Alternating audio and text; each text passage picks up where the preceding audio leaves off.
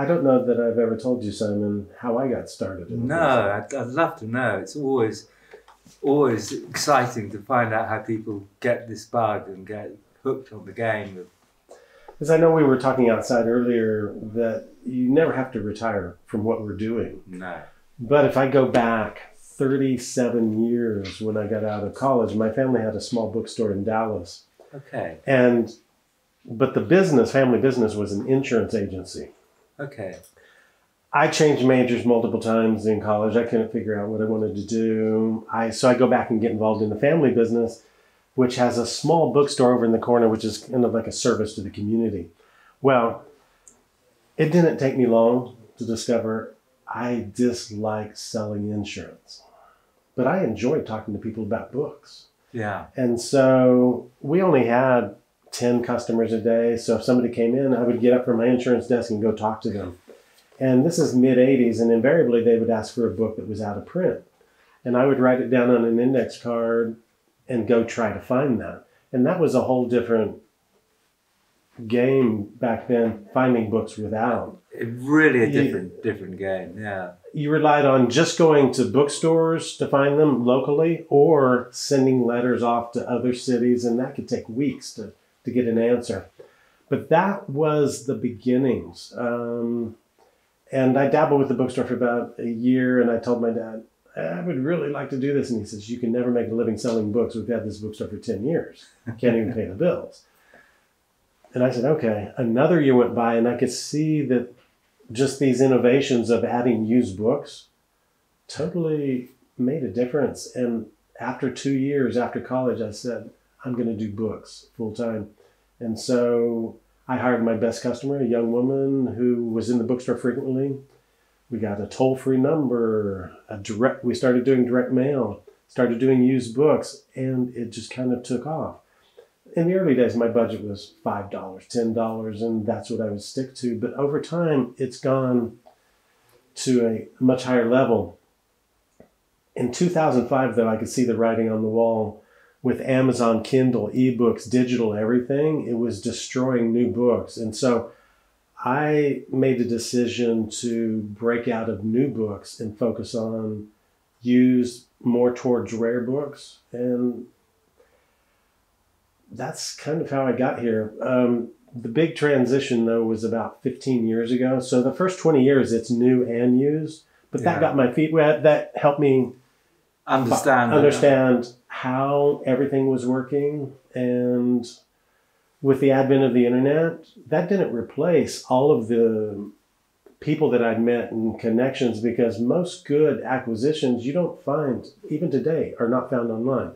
I maybe 5 to 10% of my acquisitions are an online lead. Most are meeting people like you and others who have books and buying them. But I'm very curious. I know it seems like we've known each other a lot longer, but it's it only been four years. Yeah.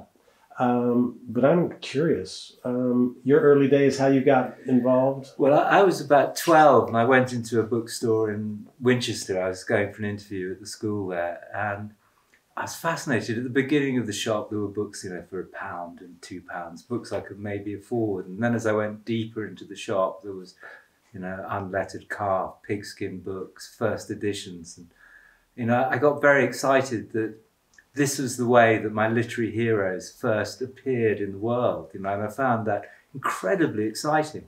But it's funny because I was not only interested in the material, I was interested in why one book was a pound and one book was a hundred pounds when they were to all intents. So I was very fascinated what, what made that market. I, I spent all the money I had.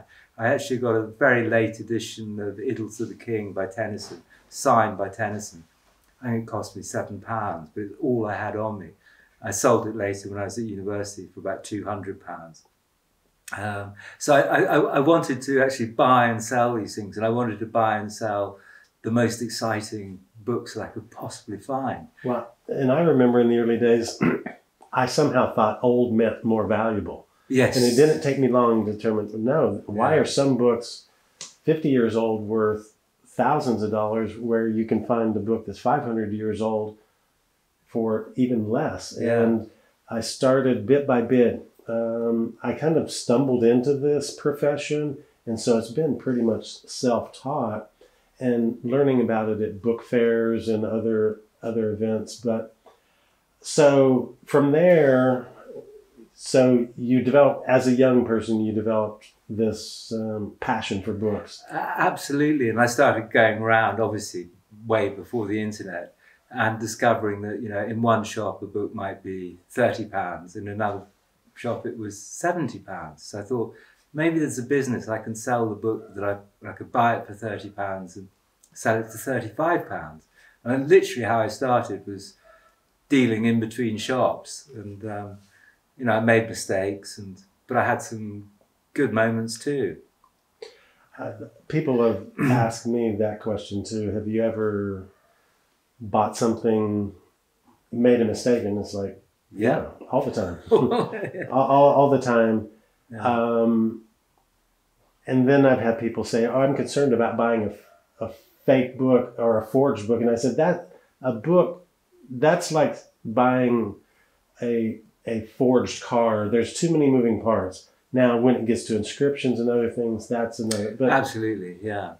But um, so, where did you? Where was your first bookstore? My book, first bookstore was in Dallas, Texas. Well, I mean.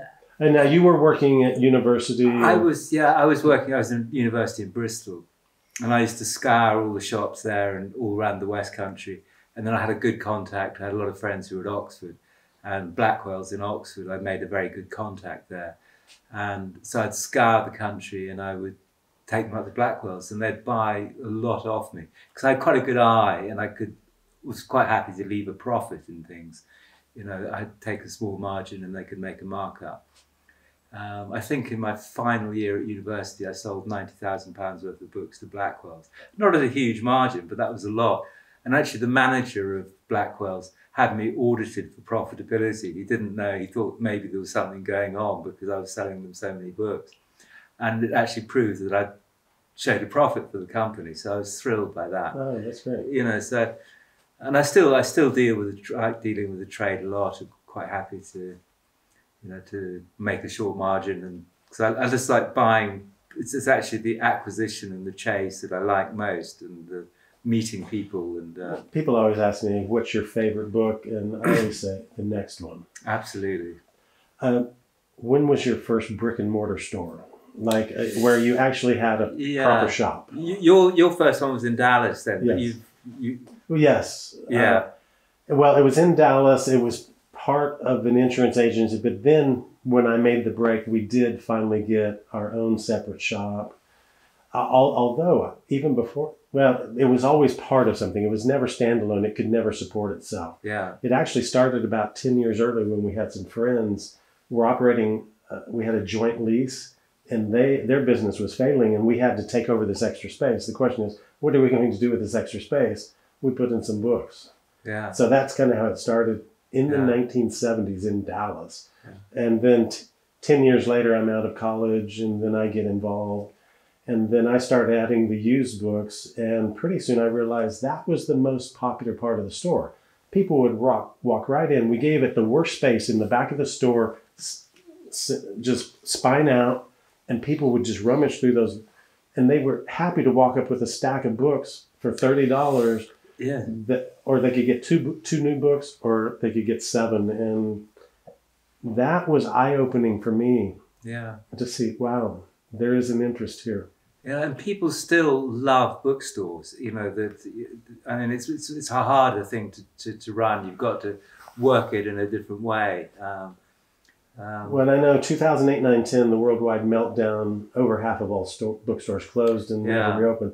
And people have asked me why. And I said, well, first of all, I feel that most bookstore owners kind of do it out of a passion without a lot of business uh, experience. And so they kind of just kind of stay there. Um, and with all things going digital, everybody says, How does it feel? You're going to be out of business. But it's like, no, that kind of stopped about 10 years ago. And there's a resurgence. Our, at least my bookstore, is the traffic is increasing year by year. Yeah. I mean, you have a particularly sort of interesting stock in the way that you know all your books tell a story. That you know that they attract people by the nature of what they are. Um, and I think that will always be so. I mean, it's um, people will always be attracted by that kind of um, pulling power of you know stories of stories, and it's about telling. I mean, book selling's in a way about